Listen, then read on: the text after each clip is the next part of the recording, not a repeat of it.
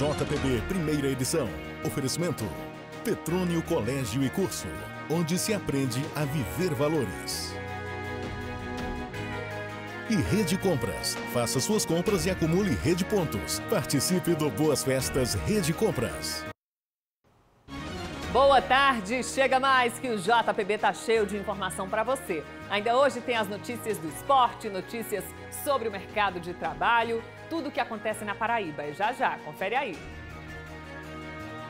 Policiais civis da Paraíba paralisam atividades por 24 horas. A principal reivindicação é uma melhoria salarial. Já os bandidos estão trabalhando em turno dobrado. Explodiram banco em Pilar e em Lagoa Seca. Larissa.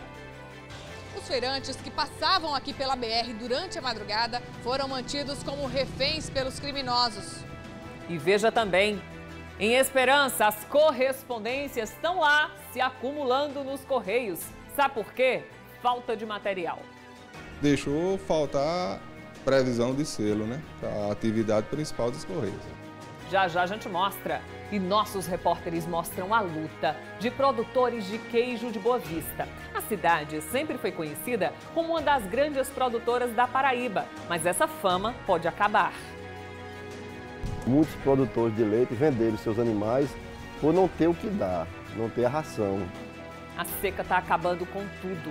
E ó, o que é que esse jacaré estava fazendo no açude que fica dentro da UFCG em Campina, hein? JPB no ar. Jornalismo responsável sempre perto de você.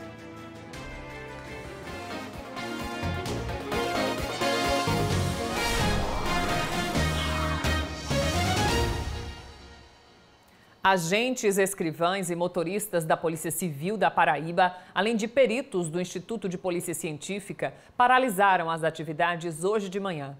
A paralisação vai durar 24 horas. Eles reivindicam melhores condições de trabalho e também reclamam de um projeto de lei que foi aprovado este ano na Assembleia Legislativa do Estado.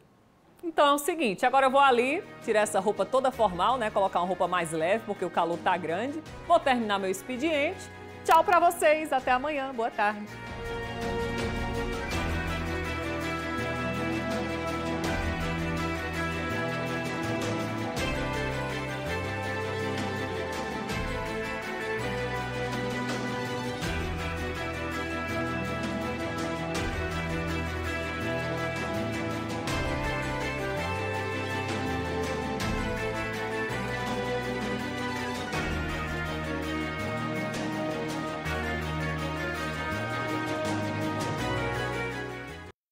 JPB Primeira Edição.